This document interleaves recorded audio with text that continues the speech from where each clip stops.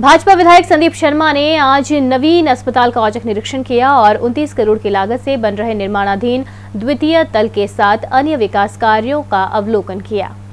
इस दौरान अस्पताल अधीक्षक डॉक्टर चंद्रशेखर सुशील और पीडब्ल्यूडी एक्सीएन वी के पुरवाल ने निर्माण कार्यों की प्रगति के संबंध में जानकारी दी। शर्मा ने निर्माण कार्यों में हो रही देरी को लेकर नाराज़गी जताई और इसके साथ ही निर्माण कार्य को लेकर भी कई सवाल उठाए। उन्होंने मौके पर मिली कमियों से पीडब्ल्यूडी एक्सीएन को अवगत करवाते हुए सुधार के निर्देश दिए। पीडब्ल्यूडी और एक्सीएन साहब को इसको तुरंत इस कार्य को पूरा करें। इसमें लगभग साढ़े पच्चीस करोड़ रुपए लगे हैं। इसी प्रकार किडनी ट्रांसप्लांट का भी कार्य 180 लाख का, वो भी साल भर पहले पूरा हो जाना चाहिए था।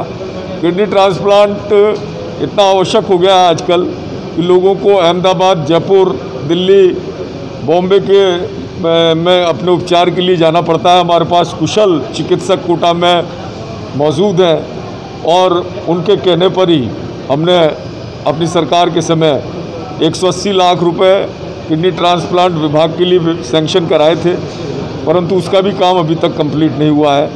इसके बाद शर्मा ने अस्पताल अधीक्षक कक्ष में पीडब्ल्यूडी एक्सीएन और अधीक्षक डॉक्टर चंद्रशेखर सुशील से नवीन अस्पताल में भविष्य की योजनाओं को लेकर चर्चा की और आवश्यक चिकित्सा सुविधाओं के संबंध में भी बातचीत की।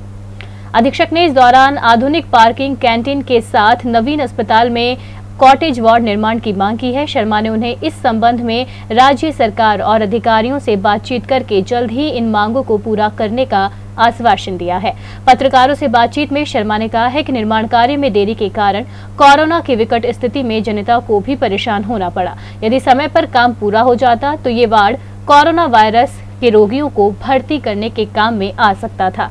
उन्होंने कहा कि आज उनका अवलोकन करने का मकसद यही था कि यदि राज्य सरकार की तरफ़ से निर्माण कार्य में कोई देरी या ढिलाई करवाई जा रही है तो वह इस संबंध में विधानसभा में भी इस मुद्दे को उठाएँ, ताकि यदि कोरोना की तीसरी लहर आती है तो उसमें कोटा में मरीजों को परेशानी का सामना नहीं करना पड़े। 180 लाख की लागत से स्वीकृत किडनी ट्रांसप्लांट यूनिट के कार्य को जल्द शुरू करने के प्रयास करने की उन्होंने बात कही। अस्पताल में पाँच वार्ड का कार्य लगभग पूर्ण हो चुका है, जिसमें सत्तर बेड लगाए जा चुके हैं। केंद्र सरकार के सहयोग से, स्मार्ट शहर के सहयोग के पैसे से जगह जगह विकास के कार्य करा रहे हैं, परंतु उन्होंने, उनका चिकित्सा की ओर कोई ध्यान नहीं रहा। और यही कारण रहा कि स्वायत्त शासन मंत्री जी के कोटा में रहते हुए भी लोग तड़पे हैं, लोग परेशान हुए हैं, ऑक्सीजन की अनुपलब्धता रही है, उनको प्रवेश नहीं मिल पाया।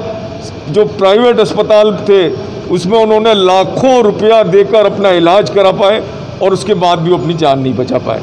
तो इन्हीं सारी चीज़ों को लेकर हम, मैंने जो अस्पताल अधीक्षक जी हैं चंद्रशेखर सुशील जी, उनसे भी चर्चा की है कि और क्या क्या चीज़ें ऐसी हैं जो हमें आगे इस चिकित्सालय में जो मरीज़ आते हैं, उनके परिजन आते हैं, उनको हम विभिन्न सुविधाओं से संपन्न कर सके। एक अच्छा फाइव स्टार हॉस्पिटल जो ऐसा एसएसबी हमारे पास है, उसी प्रकार है ये न्यू चिकित्सालय जो कोटा वासियों के लिए, उनके चिकित्सा में सुविधा के साथ हर प्रकार से उनके लिए तैयार खड़ा रहे और